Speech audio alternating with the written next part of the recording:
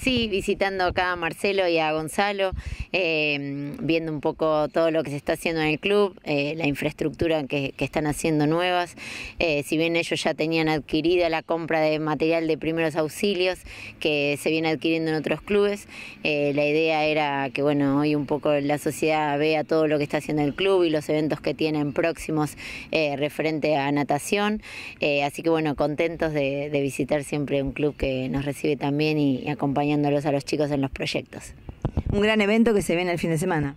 El fin de semana y tienen otro próximo también con respecto a natación, pero sé que bueno que están con otras disciplinas también con eventos y, además eh, terminando lo que tiene que ver con hockey y las instalaciones de la cancha de rugby, así que bueno, contentos con eso. Estamos terminando las obras que tenemos inconclusas. Eh, eh, hoy estamos terminando con la canchita de fútbol 5 eh, la pileta, la parte climatizada ya quedó terminada, nos queda un tema vereda que va a quedar para más adelante por un tema de, presupuesto. Y mañana eh, o pasado empiezan con la terminación de la cancha de hockey, va a llevar unos 15 días más.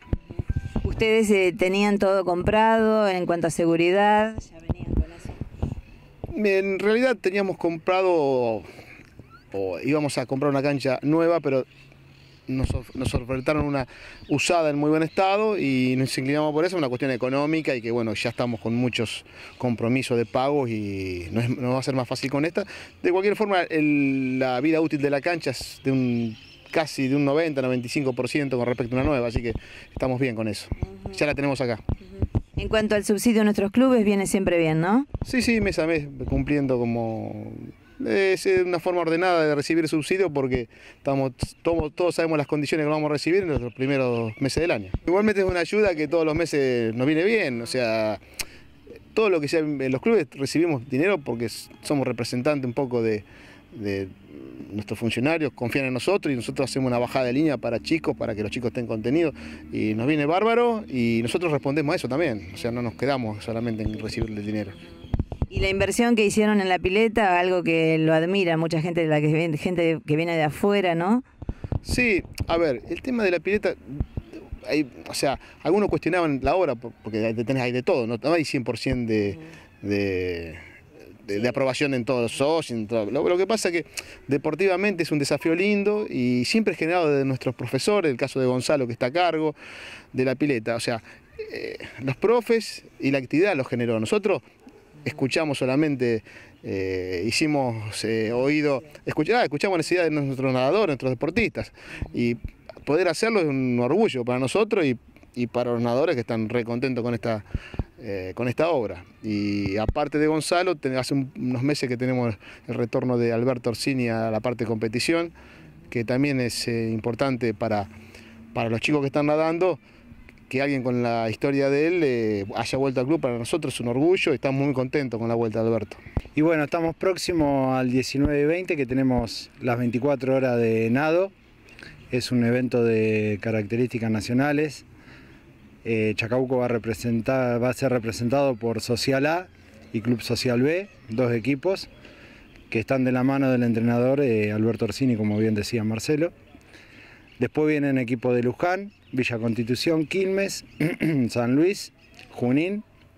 Y bueno, son en total nueve equipos de 15 participantes, 12 titulares y 3 suplentes, los cuales se van a hacer presentes algunos que vienen de San Luis ya el viernes, eh, van a hacer uso de nuestras instalaciones del club, lo cual están en perfectas condiciones, gracias a los chicos del mantenimiento. Y bueno, el evento arranca el sábado, la competencia a las 12 del mediodía. Previo a eso va a estar la charla técnica y la acreditación de los participantes. Y termina el domingo 20 a las 12 del mediodía. Yo lo que quería invitar era al ciudadano que venga, que conozca el club, que conozca la natación, un evento de estas características.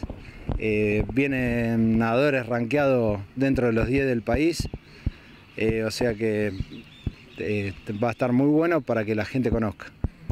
Eh, así todo, tenemos también distintos horarios para el que le interese venir a la pileta, con distintos profesores, está Lucía Lavarriaga, está Gastón Falabella, con máster también, y tenemos los chiquititos con Joana Piris, también estoy yo, Así que bueno, eh, lo próximo que viene es las 24 horas y también para Chacabuco, las 24 horas ya no hay cupo porque ya tenemos cerrado.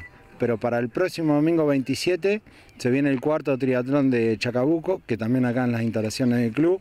Así que ya están abiertas las inscripciones, pueden pasar por Moreno 38 eh, o mandarme un mensajito y yo los puedo asesorar. En realidad también agradecerle esto que un poco decía Marcelo, nosotros sentimos que el club es una institución que siempre responde y que nosotros nos sentimos muy acompañados y apoyados en, todo lo que nosotros le pedimos o a veces eh, las instalaciones que nos prestan o que armamos actividades en conjunto, la verdad que estamos muy contentos y ver el crecimiento del club, pero además también agradecerles porque son eventos que para nuestra comunidad son muy importantes. La gente viene a visitar Chacabuco y conoce eh, nuestra ciudad y, se generan otros gastos y otras eh, otros consumos dentro, otros movimientos dentro de la, ciudad que, están muy buenos, así que de mi parte agradecerles y, decirles que, nos sentimos muy contentos y orgullosos de que Chacabuco tenga estos niveles de, eventos deportivos que hasta hace poco no estaban. Así que muchas gracias a, los dos por todo lo que hacen acá en el club y, por, por Chacabuco.